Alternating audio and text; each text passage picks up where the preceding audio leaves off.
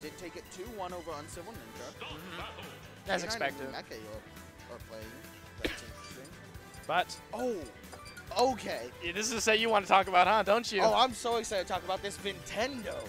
One of SoCal's biggest leaders of the unranked movement here. Uh, I, I believe he was our second highest placing SoCal representative at EVO. yes. Outplaced most of the PR except I believe Master Mario. Elegant. Was it elegant?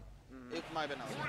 Masamaro just placed, uh, Vintendo just beat him out. Just barely, but Uh, but anyways, Vintendo has been doing a great job uh, making a name for himself, looking to get onto our SoCal power rankings in general instead of leading the unranked oh, and he uses the can to escape the combo. Great intelligent play from here. Duck Hunt. Yeah, his can plays crazy. And look, Look at these that. conversions as well. Really impressive to see. Does him for the can, so it does stall a little bit, but Vintendo definitely been taking some notes from Raito. Looks for the forward smash, but gets interrupted by the Vine Whip. Just gonna run to the other side of platform. Says, I Uh-oh. don't want to be there. That's gonna be. Uh, no, you can't. It's Duck Hunt doesn't have anything to do with that. Yeah, yeah, we, we're looking like pre-patch Ivysaur with that down air. It's still strong. It's still pretty big. It's just weaker and smaller. Doesn't mean it's weak and small. Mm-hmm. So he's able to get it. So Vintendo, he, he, he should be able to easily shake that off. 140%. He's looking right on fire. And here comes the can once more, forcing Puppeh in a really uncomfortable position. And a great oh. ledge trap setup. That killed him off the top right there. A combination of the Wild Gunman and the can. Uh, and he tries to use the up air to get something down. But you know, you know this MSM stacked when you're seeing players of these caliber already fighting in pools. That is what happens when uh, you take a tournament the day after a major. Say $500 pop bonus on this week. And everyone's just like, oh, I want that money. Coming in right now, but here come the frisbee conversions. He Uses an air to bait out a little more, but Puppeh forcing him off stage. So Vintendo, great usage of the can. He's such a good job delaying his recovery. He's able to escape it. Yeah, this Charizard looking a little worse for wear right now. Vintendo all over dodging past everything he's throwing out. Yep, he's able to get away from that, and here comes the ledge trap setup. Waits for the gunman to fire right in his face, point blank.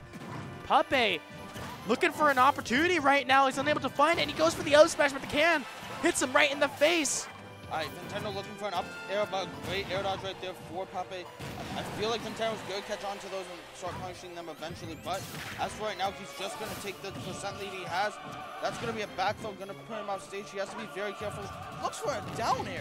Oh, but it's No, it's not. untechable. It's untechable. You, Vintendo does such a good job escaping the pressure, but sometimes he just overcommits too much to escape it, though. Yeah, that was rather unfortunate. These shields are really backfiring for Vintendo. And he's trying to go for the grab setup, but this time Puppet gets hit up with the cannon instead. Great adaptation by Puppet, though, because he knew that Vintendo likes to put the gunman down and then go for the grab on the shield, but this time he was expecting it and was able to escape that pressure, so Vintendo at a disadvantage. The can's to pop, unable to save him. But thankfully, Wow, no down air right there. Puppeh just realizing, you know what, it's not the right time to pull the trigger right there. I didn't. I wasn't sure I had it. Instead, it, looks for the roll, but doesn't find the up air, not gonna oh, go. oh, that will, though. Ouch. That's all you can really say. Yeah, I mean, he, Puppet was just all over him on that last stock. You know, Duck Hunt, once he's in a bad spot, if he doesn't have access to the can, which he didn't anymore, mm-hmm. then there's not a lot he can do. Yeah, because that can as Duck Hunt is your get out of jail free card. That's that's the frame frame one, right? Yes. Yeah, it's a frame one opportunity, and we can do it. You can trade aerials, but also what backfired a little bit, like you said earlier, Puppeh was shielding the cans while Vintendo was trying to go in for a grab, and it backfired on him, and he ate two cans to the face for free on the last stock.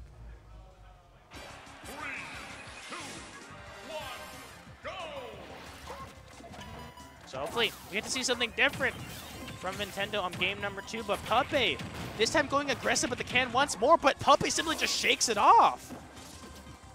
Yeah, but now he's on the ledge once again. Is Vintendo going to be able to get a ledge trap? Forward throw into the forward going to be a bit of damage, but a quick response here from uh, Puppet. He's able to fire back. Here comes the can chasing right after him, but this time Puppeh, instead of going super aggressive, he adapts and goes for this more campy setup using his using Razor Leaf to get him out of that situation. And Puppeh, he chased him down. He knew exactly that Vintendo wasn't going to air dodge and he was going to jump away and chase him to get the kill. But Puppeh, Puppet, he actually used it just to get more damage, Puppet, didn't are you serious right now? he's like, kid, that, that last match was too close, man. I can't have that. I need to show people who I am. I can't be having people saying, oh man, I'm, I'm losing to um, a SoCal unranked player like that. What is this? Frisbee conversions! Are you crazy, Vintendo? He doesn't get the kill, but how many did he get? Four or five? That was crazy coming in. And the M smash is on the shield, so no kill just yet. But the can finds it, Smart Vintendo. Are you joking? Oh, up with those. Puppeh was definitely looking for a down and right down. Knew that he could kill Vintendo. But the up smash going to draw him in 95% on Vintendo. Yep, and the can actually gets hit up with the Razor Leaf, so it's going to be a little more damage himself. So Vintendo's got to be careful. Can is back up and available, but this time Puppeh. Oh, here we go. Great conversion coming in right now. Clay Pigeon into the up smash, good connect, put 28% on Puppeh, and he's still alive. Putting the can in a great spot.